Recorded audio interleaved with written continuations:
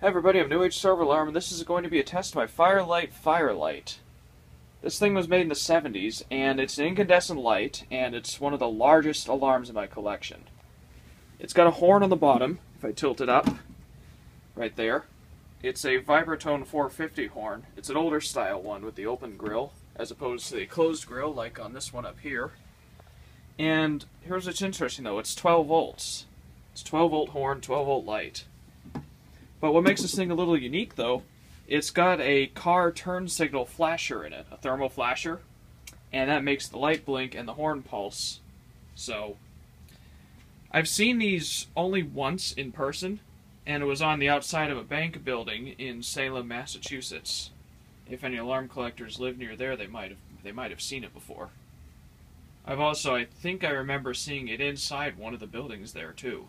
Salem had a lot of really rare devices. I've also seen it in a video clip from the TV show Hotel Impossible, which is a travel channel show.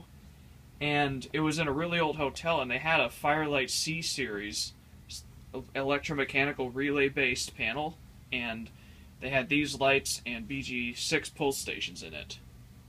So, well, without much further ado, here's a demonstration. Now, there will be a long delay before it starts going because this power supply has a short delay before it starts outputting power, and the thermal flasher needs to warm up first.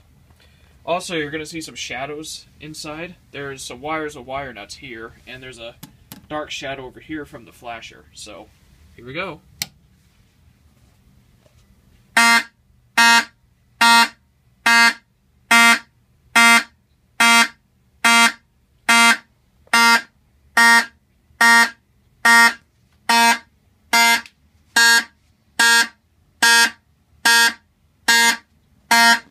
Ah.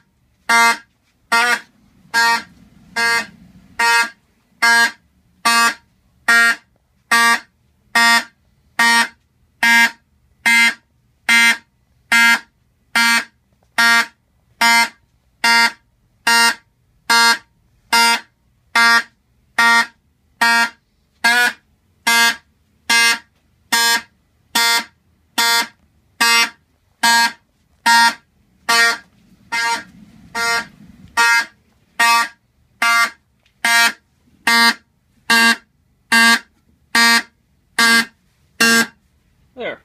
And that's it. So have a great day, everybody.